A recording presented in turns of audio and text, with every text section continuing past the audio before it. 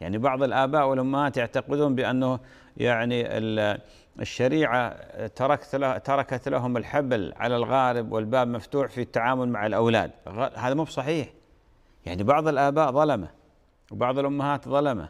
يعني كون والله أنا أظلم ابني ما أكون ظالم أظلم بنتي ما أكون ظالمة مثلا هذا كلام مو صحيح. يعني يوجد من الأولاد من يعني يشتكي.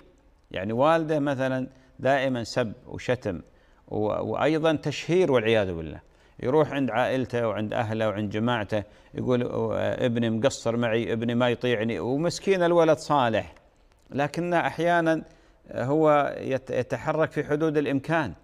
يعني مثلا بعض الآباء يكلف عياله مبالغ يقترضون له من المصرف.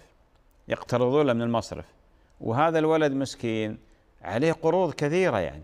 ومع ذلك الأب يطلب منه زيادة. هذا ظلم.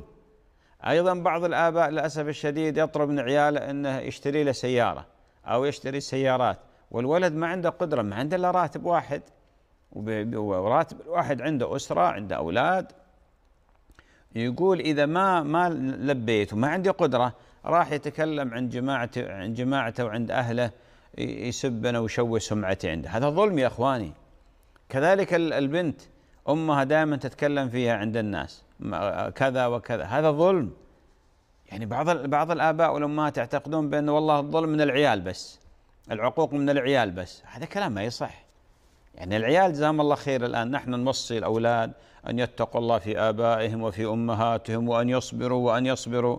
طيب هذا مطلوب منهم. طيب وأنت؟ وأنت يا الأم ويا الأب وش مطلوب منكم؟ تظلمون عيالكم؟ تسبون عيالكم تشوفون صورة عيالكم. اتقوا الله خافوا الله. أنا أقول هذا الكلام لأن عندي قصص كثيرة ومشاكل عديدة من آباء وأمهات للأسف الشديد. وإن كان يعني ليست هي ظاهرة ولله الحمد لكن موجود موجود الآن. يعني للأسف الشديد في تعاملات يعتقد بعض الآباء والله خلاص هو كأن عنده صك من الله عز وجل أن يظلم عياله ويقهر عياله ويسحق عياله ويتصرف بما شاء مع عياله. هذا هذا كلام غير صحيح.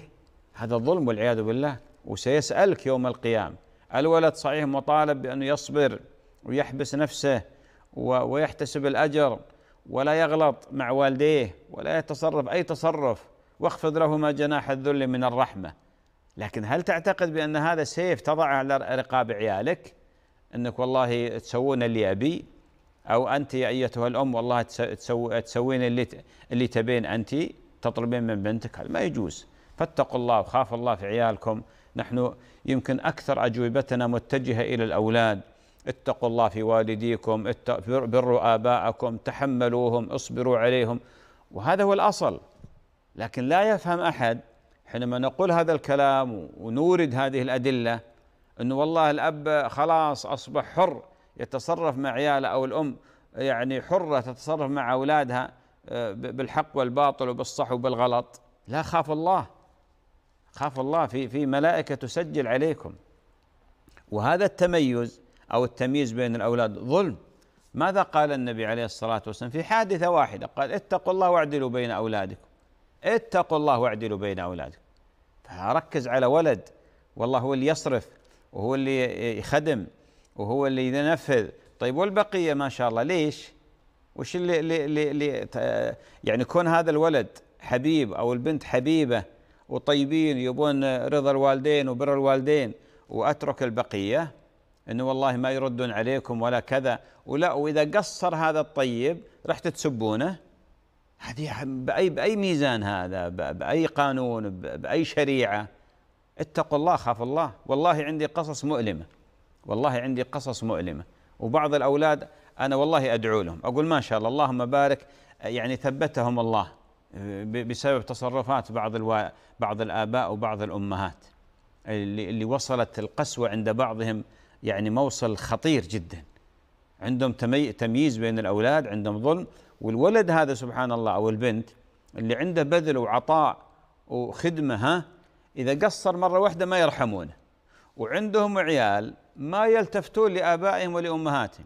لو جاب شغلة واحدة قالوا ها فلان يجيب. مرة واحد. مرة.